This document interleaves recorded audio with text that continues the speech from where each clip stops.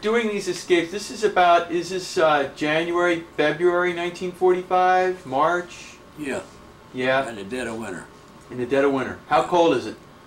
It's just zero weather all the time, seemed like. The whole time. Yeah, And inside that barracks, same thing. same thing, except you bundle up and do the sleep together if you had to. Try to stay warm. Do you care to talk about, did you lose some guys that were in the prison camp with you? Yeah, Yeah, quite a few. quite a few. Well, the reason being, they didn't get up and try to help themselves. Like Jock told me, Yeah, you gotta walk. you gotta walk. You gotta walk. I went from, I weighed about 180 pounds Yes, sir. when I got there. When I was released, I weighed about 100 when I got out. I got back to the American Lions, I weighed about 100 pounds, 102 or 3. You described earlier your basic training and uh, the, the work that they put you through. That helped us, yeah, helped me you felt that that really survive. It helped you survive. Describe that. How did it help you survive?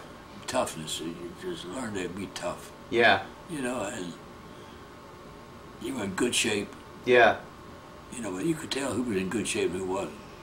They were falling out, something happening to them, and if you're in good shape, you kept on going. Mr. Grantham, if I could just take a step back for one second, back to St. Vith and the battles, if you want to describe this to me, what, what was the first feeling like for you to have to fire your weapon in, in battle? They shoot a man. They shoot a person. If you care to discuss you that, had no trouble. no trouble. You had, you, had, you, had, you had no choice to do it. You had to do it. They were coming after you. See, the difference to me, and I'll tell everybody this, I always do, hmm this, uh, the war we got over in Iraq. Yes, sir. See, like World War II, that war, you either sh- kill or be killed. You didn't have no choice in the matter. And you, but you knew who you were shooting. In Iraq, you don't know who you're shooting. Yeah, Somebody's shooting your brother, yeah, you know. So that bothers me a little bit, but what can you do? it's okay. You know, it's over with us. Yeah, Because during World War II, you either shoot, kill, or be killed. yeah. Same thing in Iraq, but you don't know who's killing you. Did you notice a vast difference, like your training, you had live weapons training and exercise, and then boom, you're thrown right into battle? Was that uh, when you're thrown into battle like that? Was, did it? Did you feel like your training had prepared you enough to understand how I to? don't, I don't think you ever get prepared enough. Okay. You know, I really don't think you ever get prepared enough to be do the best you can, I guess, with the time you have. Because I guess when we were training, they were, they were in a hurry to get us overseas Yeah. because they knew what was coming. Yeah. You know. They'd already landed on D-Day, and they were needing help. Now you're. Uh, thank you. You know you're back in back in the camp, and you had escaped multiple times, and most of it is to go out and get food and to Well, I get would food. most of it, but I, I, at least four or five times. That's impressive enough to me. And it sounds like you all had a good system down to do Oh that. yeah, we had we we planned it all. Yeah.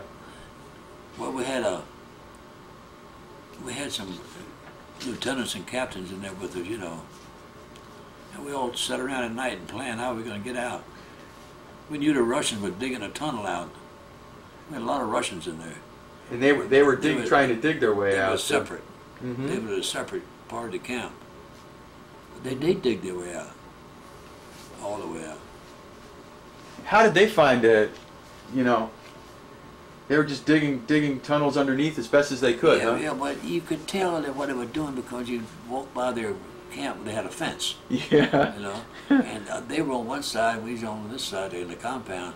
But you see the old German people, I mean the old Russian people, they all carried knapsacks, Did they? all of them, Uh-huh. every one of them. And you see them out there scattering dirt. Yeah. So you know where that's coming from. Yeah. The tunnel. Yeah. And they scatter the dirt during the day outside in the yard, see. Are you aware of any tunnel escapes that the that the Russians made? Were we, you? we figured what was going on. Yeah. Jock and I were walking around, we'd see everything. And Jock used to say, he said, they're digging out. I don't know how long it's going to take them, but he said, they're working on it. You know, they had about, a, say, as far as, um, oh, two, three hundred yards they could have dig out. But you got to dig it deep enough where it won't cave in. you know. Right. Yeah, the other bad thing I saw in camp, one of the worst things I've seen in camp was a Russian soldier Mm-hmm. get killed over one potato. Oh, jeez. they bring in a load of potatoes out of the field. And they make soup for all these people. Take a wagon load of potatoes, probably feed two, three thousand people. But this Russian guy, he ran up and grabbed one off the wagon. And the guard shot him and killed him. I'm looking at him when it happened.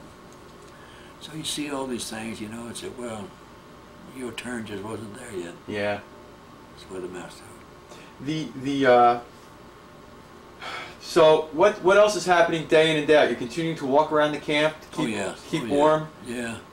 Well, you, Jock said you got to walk. So I went with him every day. I, in fact, I stayed in touch with him after I come home. Good. He died right after. He didn't live. He didn't live very long. He was an older man. So you walked every day, and you felt that that really helped save you. Oh yeah. And you're surviving essentially. Besides being in pretty good shape Yeah. when it all happened, plus his walking helped me. You had nothing more than the clothes on your back, That's right. I didn't have that when I ended. I, I was in civilian clothes. civilian clothes. Yeah. How'd you get them? Somebody, I don't know. Some of the guards they bring clothes in. I don't know what it- what get off of dead people. I guess Jeez. you know the ones they boys in, in the gas chamber. How did you how did you lose your uniform? How did that come off you? Well, you hang around, a thing gets so dirty, and you can't wash them. There's nothing to wash with. Yeah. So what you do, you just kind of hope he gets clothes. They come around with a shirt, a pair of pants. I had a pair of pants on, belonged to somebody, Yeah. and all that's all you had. What time of year is it now uh, in 1945? It's the Oh, winter it's- time, January, February. Uh, April, I guess. now it's April. You know when President Roosevelt died, Yes. we were still in the prison camp then. You had. Is that how you learned of it? How did you learn of it? Well, we had a radio in camp. Yeah. See, every, every pilot was shot down supposed to bring something with it. And those are all parts of a radio. We, we get BBC every night. Really? Yeah. They come around late at night and sneak in and tell you the news. You know. So we knew when our president died. So that's, now it's about April 12th, 1945, Yeah. right? That's when he died. Yeah. So uh, you're aware of that, and you're still in the camp. Oh, yeah. Still in the Roosevelt died. Camp, yeah. Now, and this camp is how, about how far from Berlin? Oh, God. I have no idea. Don't know. You're getting closer. You're in the heart of Germany, Stalag right. 4B. Right. Did you did you ever experience any bombing or any anything uh, like did anything come your way? Did the U.S. bomb your area? I can tell you something you won't believe. I walked through the middle of Berlin. We were being bombed 24 hours a day. The guards were with us, but they run, they run. You know, the guards, Mm-hmm. they'd leave you. But this 8th Air Force didn't know I was down there. But they'd bomb in Berlin 24 hours a day and never let up. Well, before we get to Berlin, how do We you get in there. How did you get out of that prison camp? What happened? this was before I got to the prison camp. Oh, oh, this is before you got to the prison Yeah. camp. This is on the train. No, I was walking. You were walking, And, yeah, and you're in Berlin, in Berlin, yeah. and the Eighth Air Force is bombing Berlin. 24, round the clock. And we were down there. Was what did this had this come at a point where uh, they got you off a train and they were, were, were transferring Yeah, you? a train get blowed up or wrecked, you know, a car could jump the track or something. Okay. So they walking, we were in Berlin, and they're bombing it, and we were running. We I, I was running with the with the guards. I figured I'd stay with him. He knows where he's going. I wasn't no dummy, you know. I said, hell, let me stay with him. Yeah. And that's where we all do- Where did you go? Did you go hide underneath? Yeah, the- get in the building, in the basement or something, you know, till the planes quit, get a break, and then we get out and start walking. During that time when the planes were bombing Berlin, where did you uh, where did you eventually wind up? How did you guys how did you survive that? Did you get onto another train at some yeah, place? that's where we that's where we got the 4B. Yeah. That's where we ended up getting the 4B. Tell me, okay, so you've got uh, you've got uh, you, you you went through that and you survived a bombing in Berlin and then you wound up inside Stalag 4B, right? Right, All right, and then you you survived there and you essentially survived just on eating snow, mostly mostly on snow, snow. snow and very little else.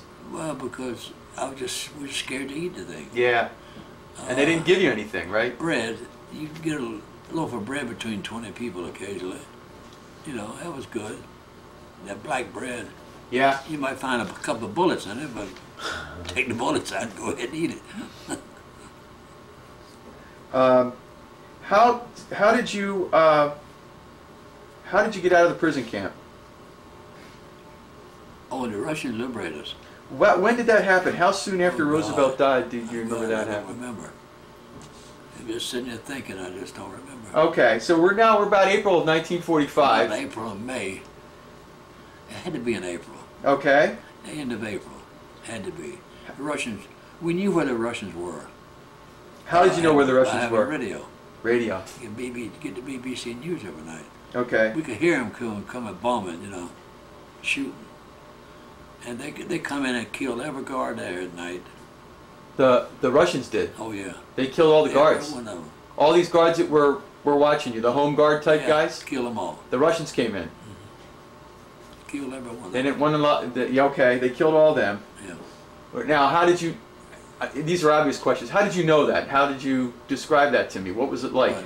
How were you aware that the Russians were coming into the camp to kill the guards? Be, well, we know what they were gonna do when they got there, but we knew they were close. You knew what they were going to do when they got there. Yeah, we figured we knew, Yeah. and they did. Okay. They didn't, they didn't let nobody go slip by. They killed them all. Really? I stood at the door, and watched them. Yeah. Yeah, I was clapping. You were clapping. Not for the old men, no, they tried to help us. But for the young Gestapo, Yeah. they were different. Yeah. The can you describe what the Gestapo, Gestapo type guys did? Did, did they did they abuse any of the prisoners while they were in camp? The Gestapo guys? Yeah, shoot you. But the, the biggest thing I had, uh, you know, I, I don't know want to even talk about it. Yes, sir. But you get to the point, some people say you can't reach the point of no return. Okay. You can.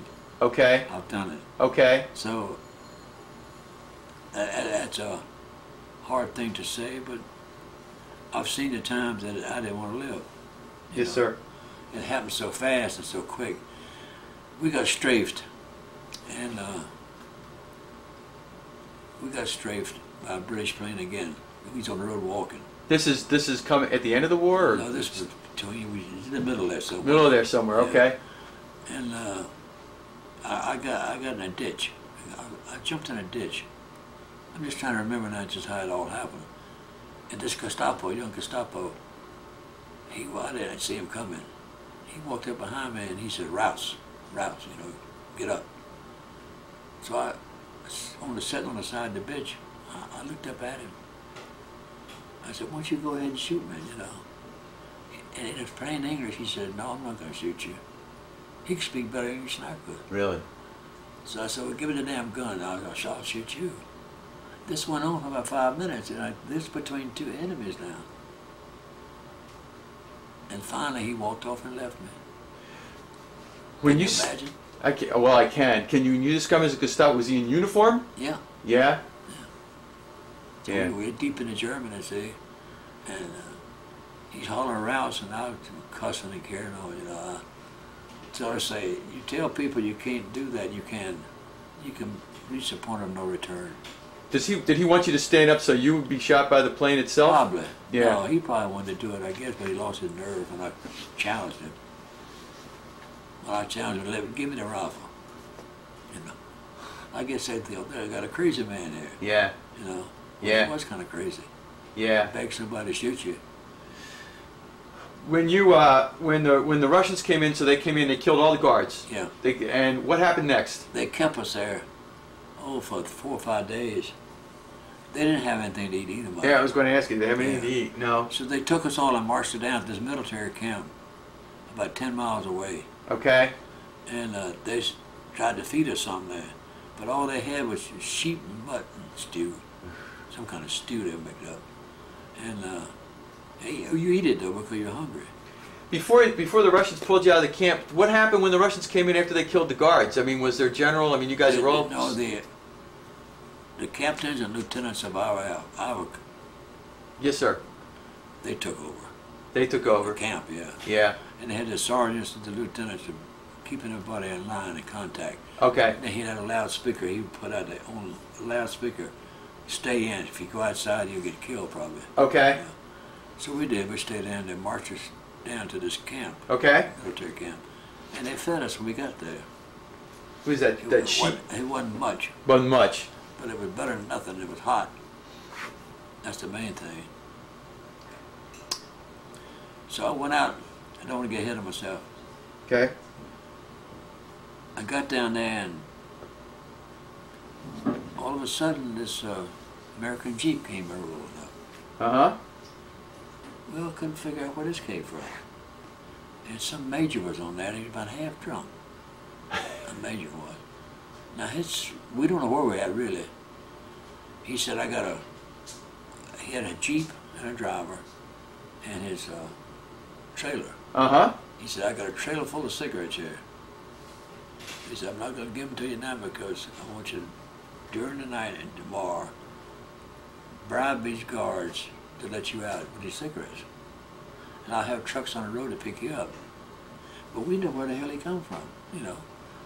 So come to find out, he was from the 104th Division, and they were about 50 miles away. And he came all the way in there with a Jeep to give us these cigarettes to bribe the guards with, which they did.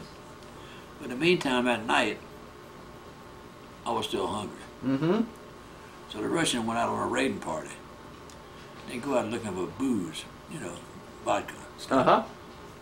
So I asked one of them, he could speak a little English, could I go with him? He said, yeah, yeah, you know, I, I could go. So I went right to the gate with them. Nobody said nothing. With the, with the Russian. yeah, with the Russian. Uh huh. So we went raiding the houses. I felt sorry for the women and children because the Russians are pretty rough, Mm-hmm. you know. So anyway, I found a can of sardines, canned sardines or some kind of sardines, and I ate them. That was my downfall.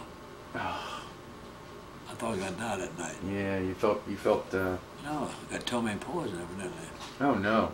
And then next morning when these guys are getting ready to leave, I can't bend over, I can't straighten up. I said, you're not gonna leave me here. So I got out, started walking with them, all bent over like this. So the major, sure enough, he had trucks out on the road the next morning picking us up. And it was about 50 miles back to the American lines at the Elbe River. That's where he would That's come it. from. Yeah, it must have been okay. Yeah. And uh, we got to uh, the camp. Of course, they take us down, deloused us, take all our clothes away from us, give us all new clothes. They carried us to the mess hall. Okay. They went down, they had uh, mashed potatoes, I forget what they had, mashed potatoes, a little small slice of pie, something else, and not much. Were you able to eat at that point? Well, that's what I'm going to tell you. So they give us what they recommended that we could eat. I took two bites and I couldn't eat no more. Yeah, it's sick. Your Stomach's no strong, see. Yeah. I'm gonna put this on hold for just a second. You still had me. You were describing that uh, the uh, the the U.S. came and they trucked you. They trucked. Oh, yeah, they liberated you. You want to hold yeah. that microphone up. Back to Elbe River. Back to the Elbe, and they brought you. They deloused 104th you. Division, yeah. Deloused you and uh, Clean clothes. clean clothes. Carried us to the mess hall. And then they talked to you about the food you could eat. What, you know, they said you can have what's on the plate, but no seconds. Okay. You could have milk, uh, coffee, whatever, but Yeah. no more food. So I took two, two bites. That's all I could eat. So what I did, I had a pork chop on my plate that, that was included. I wrapped that sucker up and put it in my pants. Okay. I ate it that night. I was so hungry later on. Did your stomach handle it better then? A little bit at a time, yeah. Yeah. How long were you at that camp where the 104th was on the They Elbe? got us out right away. Yeah. And they got us on a plane and flew us into, into uh, Camp Lucky Strike, they call it. Where is that? It's around Le Havre. Le Havre. Yeah. Tell me about where did they fly you out of? You were in the middle of Germany, right? Yeah, they flew us out of there too. They flew you out of Germany. Up to Lucky Strike, yeah. So they got you out of this camp on the Elbe River. They tr- trucked you to an air an airfield. Yeah. They put you on what kind of a plane? C-47s. They were little, The C-47, little rackety thing. your little rackety thing. But they got us out. They got you out, and then where did they? They flew you near near You know, supposed to be the best plane we had for transportation Uh huh. during the war. A C-47. 990, the C-47.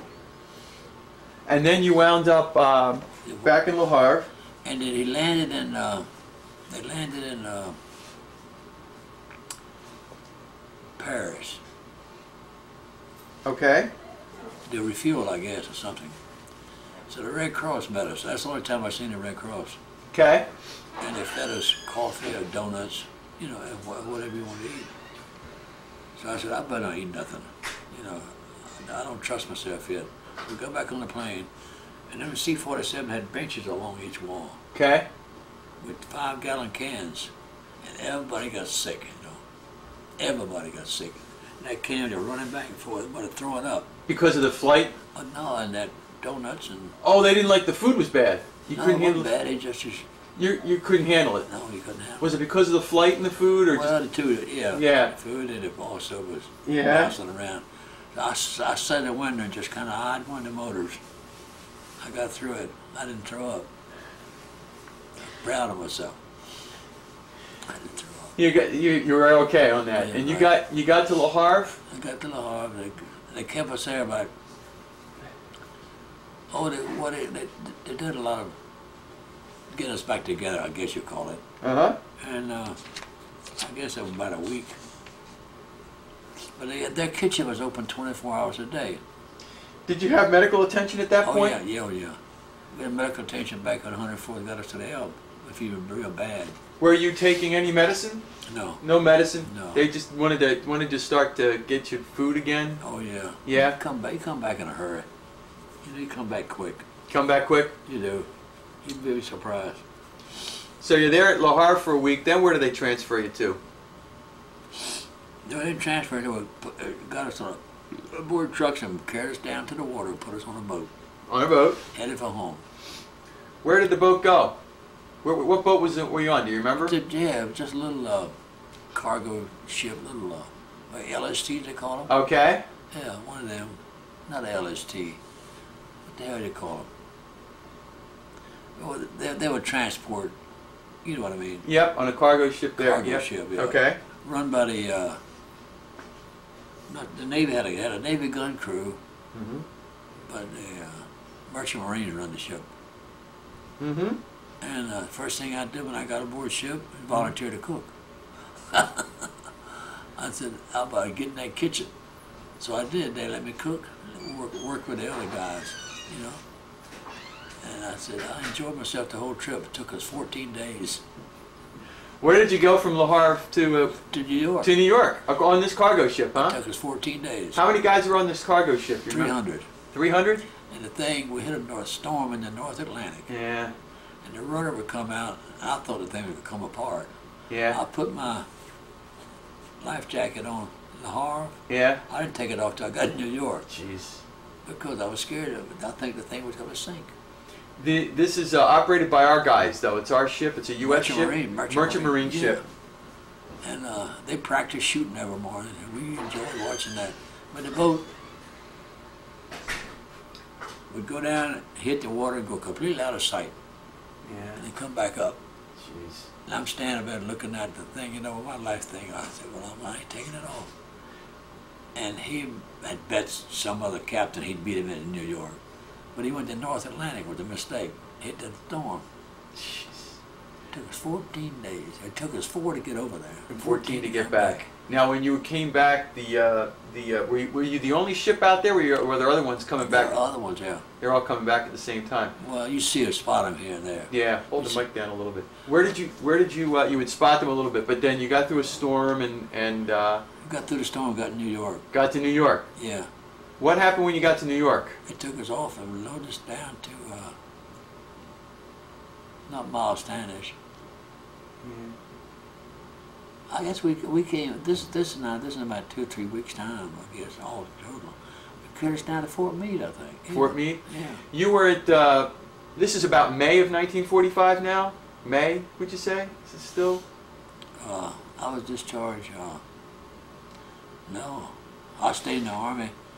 They got me back down here, and I was at uh, what's the camp out here in Virginia, Fort Belvoir. Okay. I stayed at Fort Belvoir. I didn't get out of the army until September. Out till September. September. Uh, I don't remember the date.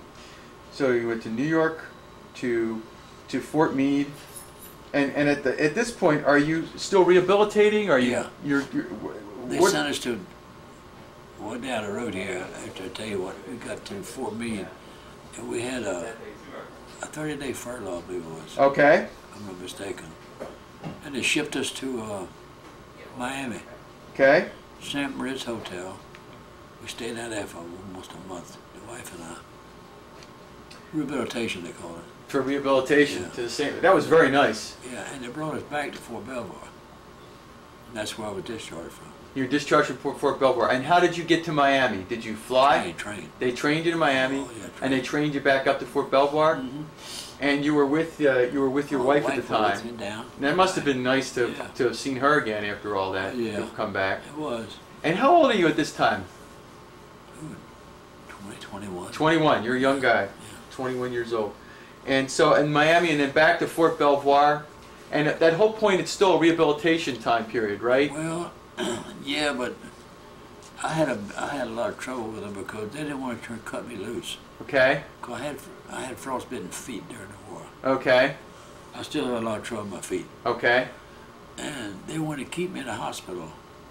And I raised so much hell, they discharged me. That's a mistake I made. Big mistake. I said never left Why?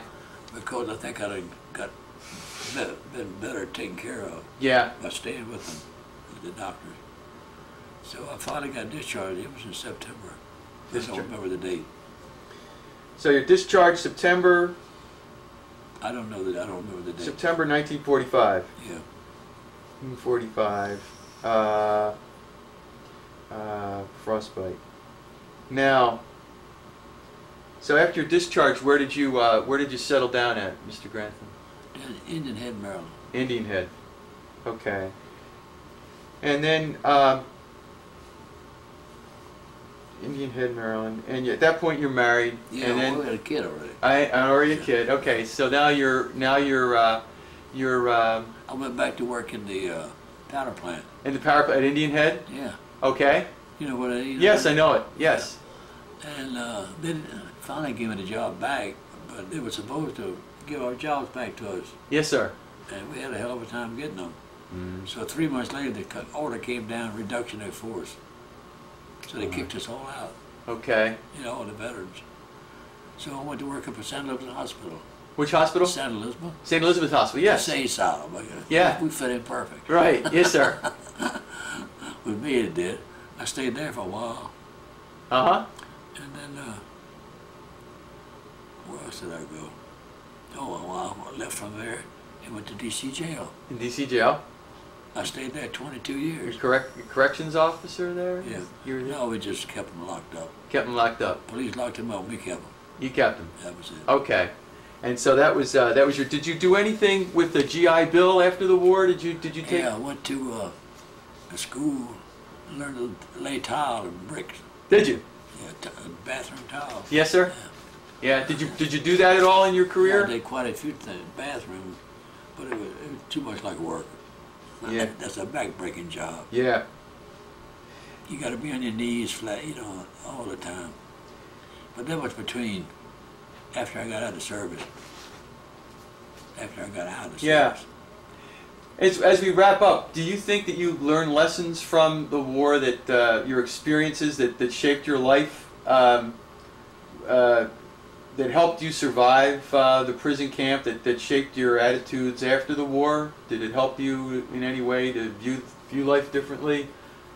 Well, I, I, don't know. I, I, I just always thank God for letting me survive what I did. Yeah, I, all my buddies are over there yeah, in the ground, yes, sir. and I'm not.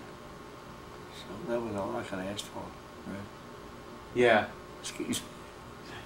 Thanks a lot, Mr. Grantham. You're uh, you're really terrific. Well, there's not a lot you know we can do about it. It's over now. Yeah, 60, what, 60? 61 years ago, but But you don't forget. or 60 years ago. You never forget. Well, I'll get some pictures for you if I have to give them to Denise. Yeah. Then, then Katie can give them to you. Oh, that'll be great. Yeah, we'll get them. I'll get them from Denise. That'll be good. Let me just pop that off. Thank you very much. This ends our interview with Mr. Grantham.